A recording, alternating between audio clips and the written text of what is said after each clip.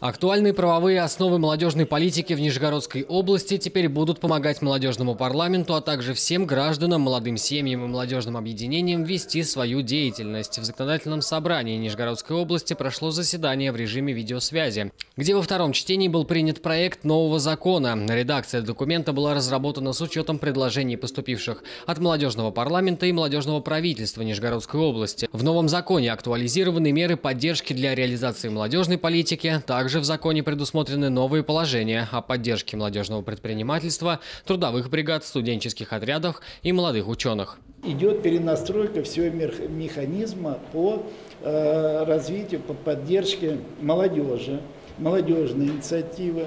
Речь идет и в вопросах образования, вопросах культуры, вопросы социальных гарантий, вопросы защиты э, по месту работы молодого специалиста и многое-многое другое.